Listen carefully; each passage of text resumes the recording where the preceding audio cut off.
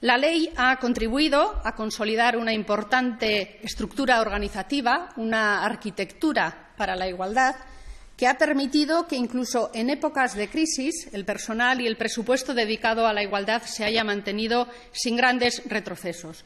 Una estructura que ha incidido especialmente en el ámbito público, en el que el despliegue y la coordinación entre instituciones a nivel autonómico, foral y local ha convertido a nuestro país en referente. La colaboración y las líneas de trabajo conjuntas entre administraciones de diferente color político es uno de los logros que se destacan en esta evaluación.